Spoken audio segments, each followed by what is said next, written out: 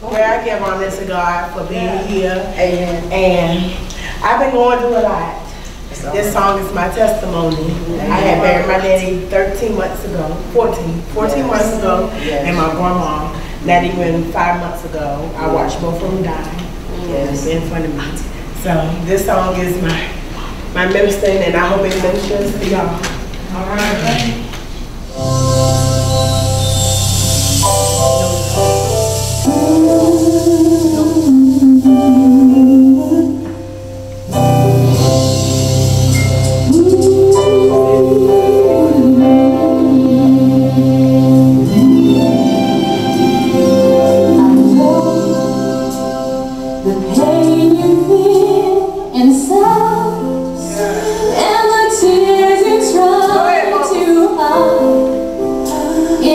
won't you ask why?